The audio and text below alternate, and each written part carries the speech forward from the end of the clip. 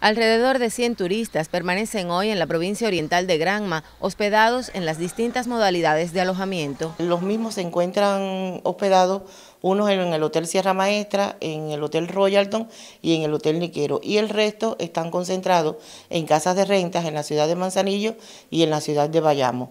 A partir de las indicaciones dadas por el primer ministro ayer en la mesa redonda, queda claro que a partir de hoy los turistas extranjeros no pueden salir de los hoteles ni de las casas de renta, porque donde están pernotando se encuentran en cuarentena, es decir, que ningún extranjero puede estar circulando por las calles. Los turistas alojados en casas de rentas cuentan con las medidas de control previstas en los protocolos de salud para casos de este tipo. Los turistas que están en las casas de renta tienen también el control sanitario, se le hace la pesquisa y eh, los compañeros de salud están monitoreando eh, el estado de salud de los mismos.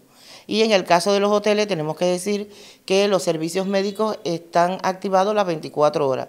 En cada instalación hotelera se cuenta con, el con un médico y se encuentra también con, con enfermera y con las condiciones creadas allí para atender a todos los clientes que entran y salen del hotel. Tras las indicaciones dadas en el país, en Granma también se implementan las medidas necesarias para proteger a la población.